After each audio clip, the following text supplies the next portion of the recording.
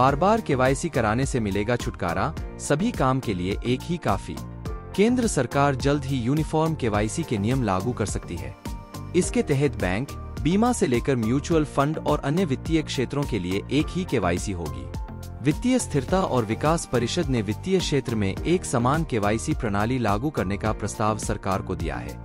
सरकार ने बनाई समिति केंद्र ने समान केवाईसी नियमों पर सिफारिशों के लिए वित्त सचिव टीवी सोमनाथन की अगुवाई में विशेषज्ञ समिति बनाई है, जो यूनिफॉर्म केवाईसी को लेकर नियमों का ढांचा तैयार करेगी। एफएसडीसी के साथ हाल ही में हुई बैठक में वित्त मंत्री निर्मला सीतारमण ने भी केवाईसी प्रक्रिया को आसान बनाने का सुझाव दिया था। इससे पहले भी वित्त मंत्री केवाईसी नियमों को आसान बनाने के लिए वन स्टॉप सॉल्यूशन पर ज़ोर देती रही है। वित्तीय सेवाओं को आसान बनाने की कोशिश इस कवायद के ज़रिए सरकार की कोशिश है कि वित्तीय सेवाओं को आसान बनाया जाए। इस प्रक्रिया के लागू होने से कागज़ी कार्रवाई, समय और लागत को कम करने में मदद मिलेगी। यूनिफॉर्म केवाईसी की मदद से सभी वित्तीय कामों के लिए अलग अलग केवाईसी करवाने की ज़रूरत खत्म हो जाएगी। एक बार रजिस्ट्रेशन की होगी ज़रूरत, बताया जा रहा है कि नई प्रक्रिया के तहत एक बार केवाईसी दस्तावेज़ पंजीकृत हो जाने के बाद सी केवाईसी पहचान पत्र जारी किया जाएगा। इसमें चौदह अंकों की विशेष संख्या होगी। बचत खाता खोलने, म्यूचुअल फंड में निवेश करने व बीमा पॉलिसी खरीदने के लिए निवेशक को अलग अलग केवाईसी दस्तावेज़ जमा करने के बजाय केवल एक बार सी केवाईसीआर से जुड़ा केवाईसी विवरण देना होगा। क्या है मौजूदा व्यवस्था? अभी विभिन्न वित्त क्षेत्रों के लिए अलग अलग तरीके की केवाईसी करवानी पड़ती है।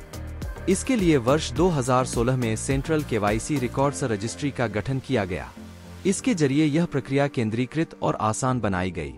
एक बार इसमें रजिस्ट्रेशन के बाद इसी एजेंसी के ज़रिए अलग अलग संस्थानों को केवाईसी दस्तावेज़ जारी किए जाते हैं।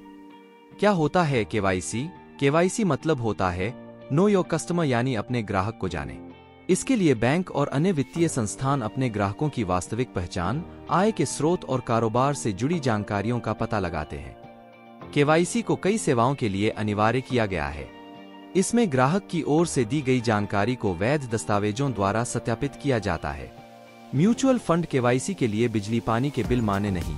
म्यूचुअल फंड केवाईसी से जुड़े कुछ नियमों में बदलाव किया गया है। इसके तहत केवाईसी के लिए बिजली पानी समेत अन्य ज़रूरी बिल, बैंक और डाकघर खाता विवरण, संपत्ति कर की रसीद और पेंशन या पारिवारिक पेंशन भुगतान आदेश जैसे दस्तावेज़ मान्य नहीं होंगे।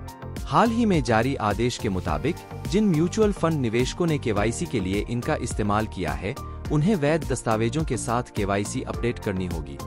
इसकी अंतिम तिथि 31 मार्च 2024 निर्धारित की गई है।